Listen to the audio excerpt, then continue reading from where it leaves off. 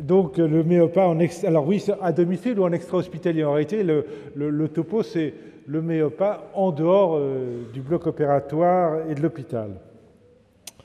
Alors, on va commencer par un, petit euh, historique sur ce méopathe, d'où on va voir que c'est quand même un parcours atypique semé d'embûches. Hein. Et c'est vrai que c'est un produit atypique parce que c'est un médicament qu'on inhale, un médicament qui fait rigoler. Il n'y a pas tellement de, produits euh, qui ont, même, le même profil. Donc je rappelle que ça a commencé en réalité au XVIIe siècle, mais là on va, on, va, on va commencer par le XIXe siècle. Là on va les débuts de l'anesthésie générale, on va utiliser du chloroforme, de l'éther et du protoxyde d'azote. Et en réalité, l'ère du protoxyde d'azote en dehors de l'hôpital et, des blocs opératoires, ce sont les dentistes hein, qui vont utiliser, qui, vont ils ont un mixeur, c'est-à-dire qu'ils vont doser le protoxyde d'azote et l'oxygène, ils ont deux bouteilles distinctes, et comme ça, par un masque nasal, ils vont utiliser régulièrement, et aux États-Unis, ça se fait de manière massive et régulière, donc en dehors euh, du bloc, euh, avec son monitoring, enfin, de manière tout à fait euh, basique et banale. En 1961, M. Tunstall, en Grande-Bretagne, va découvrir, découvrir, enfin, il va faire des bouteilles mixé, pré-mixé, il y aura 50% d'oxygène, 50% de protoxyde. Donc c'est beaucoup plus simple à utiliser que d'avoir la rampe avec pour, euh, mixer l'un et l'autre et deux bouteilles différentes. Là, il y a une seule bouteille et là, ça va démarrer dans les salles d'accouchement, dans les salles de travail et ça va être vraiment une des premières méthodes antalgiques pour soulager euh, les douleurs de l'accouchement. En 1977, M. Peter Basket, qui est anesthésiste, va former les ambulanciers hein, pour avoir du protoxyde d'azote et soulager les patients qui, sont, euh, qui vont chercher donc tout ce qui était traumatique. Ce n'était pas des SMUR, euh, c'était donc des ambulanciers formés. Après, dans l'hôpital, dans la région, bah, ça va tout de suite faire diffusion hein, et les, les infirmières, les kinésithérapeutes vont utiliser régulièrement pour leurs soins ce, ce protoxyde d'azote. On est dans les années 70. Et là, dans les années 80, ben, en France, il y a certains SMUR, de manière un peu épisodique, sporadique, vont avoir des bouteilles de méopa. Donc c'est l'Antonox qui, à l'époque, ça s'appelait, puisque c'était les Anglais qui l'avaient, la British Oxygen Company. Et donc ça va euh, se développer de manière un peu euh, sporadique. Et finalement, c'est à Trousseau, hein, l'hôpital Trousseau, où on va commencer, nous, à démarrer les, ces utilisations de, de mélanges pour les enfants en hôpital de jour, les enfants en hémato-oncologie qui ont des leucémies, parce qu'ils ont en effet programmé, quand on a une leucémie, des dizaines de, PL, des myélogrammes, donc des actes invasifs particulièrement euh, traumatiques, d'autant plus qu'ils sont répétés. Et là, ça va être un peu la révolution, hein, parce que là, on va voir qu'on peut faire ces, euh, ces, actes douloureux sans être à trois tenir les enfants, comme c'était la tradition. On va présenter euh, trois ans après, les premières vidéos qui montrent la réalité de cette, cette méthode antalgique simple. Et là aussi, tous les gens qui, qui, ont vu ces premières vidéos, euh, pour eux, ils étaient un peu euh, très étonnés qu'on puisse enfin avoir une telle efficacité aussi rapide et avec une telle marge de sécurité. En 94, il va y avoir un autre problème qui va se poser, enfin un problème plutôt majeur qui va se poser pour les fabricants de gaz médicaux. On va leur dire, écoutez, euh, vous faites des produits qui sont inhalés, qui vont à l'intérieur de l'organisme, qui sont métabolisés.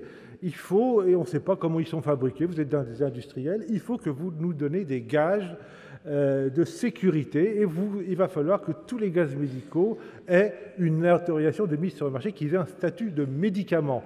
Et là, en effet, on s'est retrouvé devant un vide juridique parce que euh, ben, l'oxygène, euh, l'air médical, tous le protoxyde d'azote, évidemment, tous ces produits n'avaient pas de statut juridique. Donc il y a eu pendant un an, deux ans, des grandes interrogations parce qu'il n'y avait pas un statut administratif fixe. Et, il y a eu même euh, des gens, en effet, qui ont paniqué parce qu'en effet, il y avait, euh, en plus, il y avait tous les débats, mais le protoxyde d'azote, c'est un produit d'anesthésie qui doit être utilisé par anesthésie, c'est là, c'était les infirmières qui utilisaient ce mélange oxygène-protoxyde d'azote.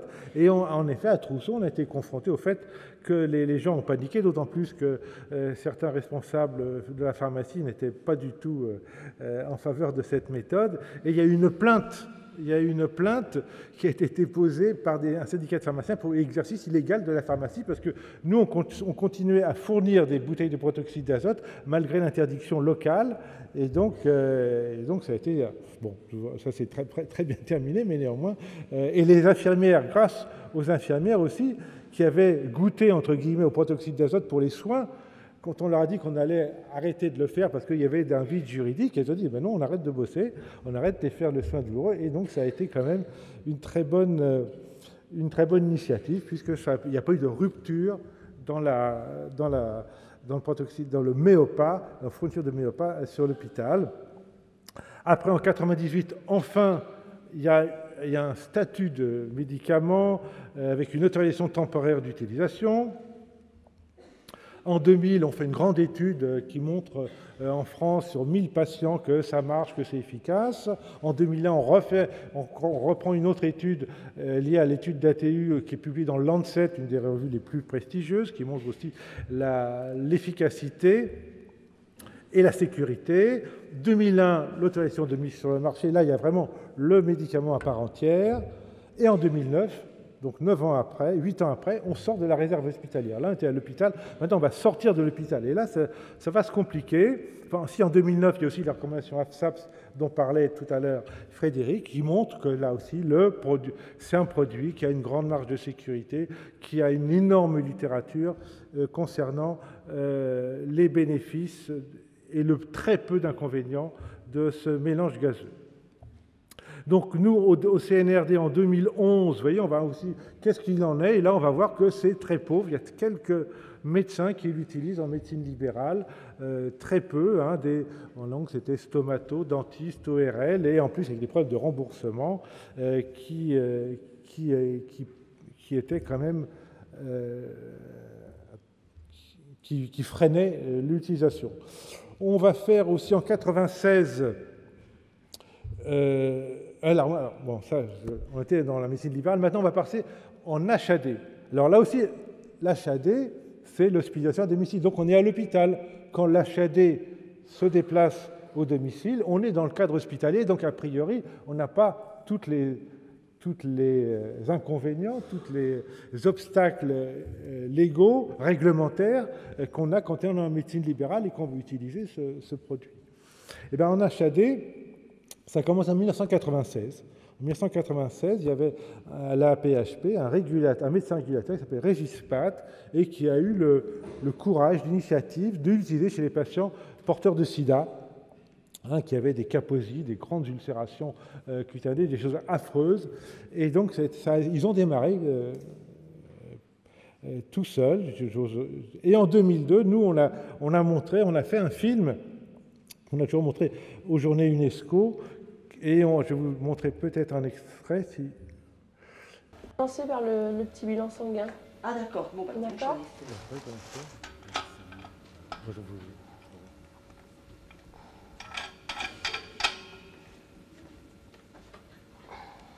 Donc c'était les anciennes bouteilles. Hein. On met le masque? Oui. C'est une petite fille qui avait là une maladie. Il est en place là euh, Maligne. Tu le tiens? Et qui avait des chimios par voie intramusculaire.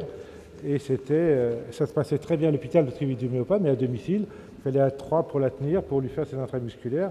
Et grâce au Méopa, vous allez voir, ça c'est tout simple. Mais s'il n'y avait pas eu ça, ça aurait été la, la corrida, comme on dit, à trois pour euh, tenir l'enfant. Ça va? Il arrive le gaz?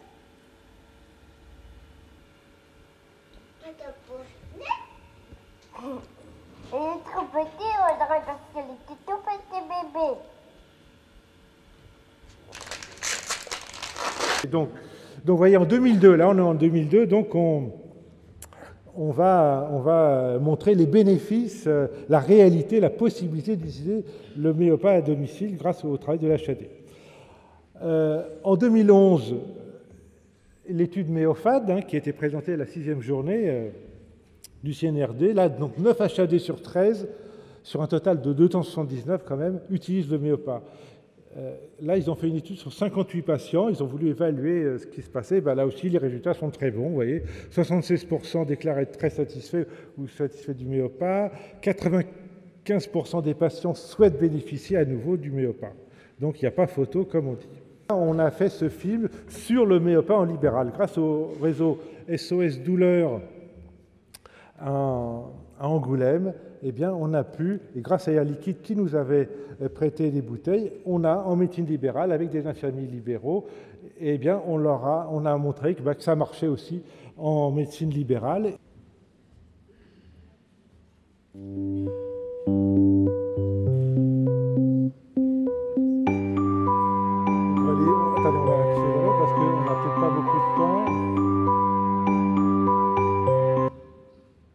Je vous rappelle que le film, que le film, vous pouvez le voir sur la chaîne YouTube du CNRD. Il n'y a pas de meeting YouTube, vous l'avez ici.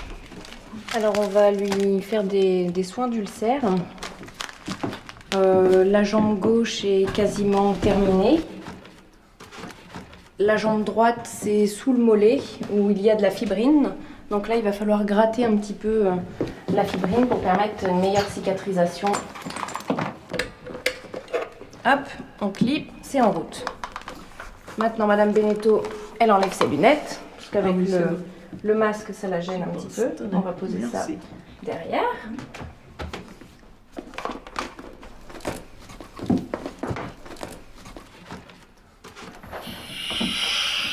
Voilà. Vous êtes bien là? Bien installé? Oui. Et on entend donc le, le gaz qui, qui va se diffuser. Le méopa, c'est un gaz qu'on va, qu'on va respirer et qui, va permettre euh, d'oublier un petit peu la, douleur. Ça nous permet de pouvoir réaliser des soins euh, qu'on ne peut pas faire euh, sans parce que la personne est, douloureuse. Cette patiente, on a mis très longtemps avant de pouvoir avoir une amélioration sur, sur ses plaies. On a utilisé beaucoup de protocoles différents. Elle a vu plusieurs fois le dermato, on utilisait des crèmes.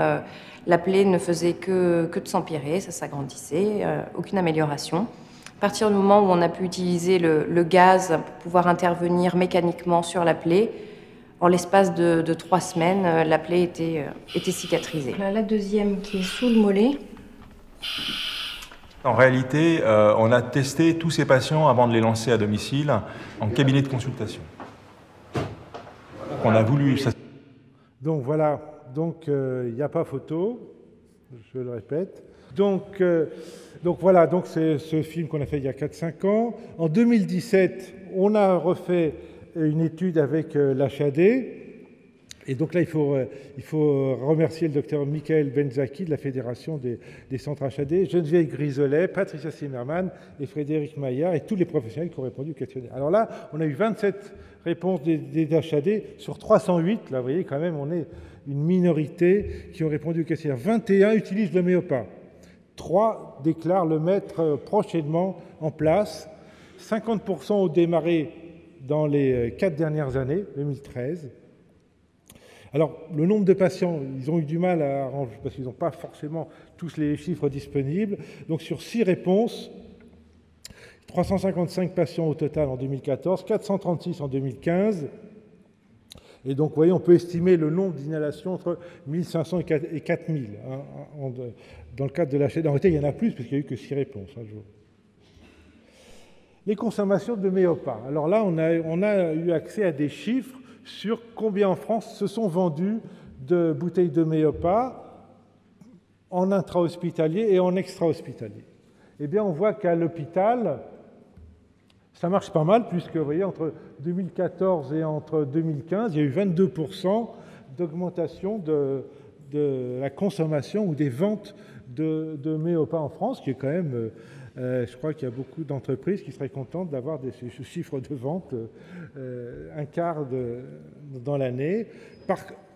Vous voyez, si on voit aussi en Méopa, mais vous voyez, en Méopa, on, est à 1835 mètres cubes et on est à 6602 mètres cubes en 2015, donc c'est beaucoup, beaucoup, beaucoup, beaucoup euh, plus petit comme, euh, comme volume. C'est certes des augmentations de 230%, mais quand même, hein, on est quand même, hein, on est sur euh, des, volumes nettement, nettement inférieurs. Donc les indications dans, la, dans cette HAD, qu'est-ce qu'ils nous disent? Bah, C'est des pansements complexes essentiellement, c'est des poses de sondes. Les bénéfices, ont, en effet, ils nous, rappellent que c'est efficace, rapidement, qu'il y a un énorme confort pour le patient. C'est un produit qui agit beaucoup sur l'anxiété, et Dieu sait si les patients sont anxieux quand ils ont ces pansements répétés, euh, que c'est très réversible, en quelques minutes c'est terminé, il n'y a pas d'effet rémanent, euh, redondant.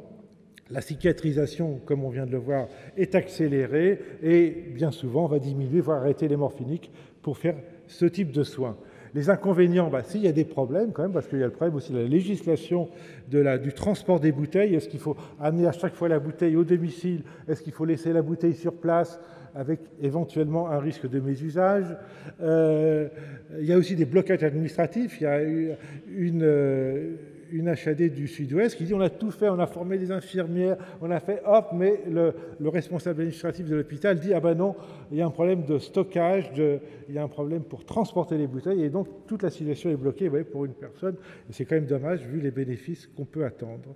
Et aussi la nécessité d'être à deux professionnels. Bon, vous avez vu là à Angoulême, euh, on peut aussi le faire en étant euh, seul mais formé. Donc voilà ce que, nous dit cette euh, seconde enquête.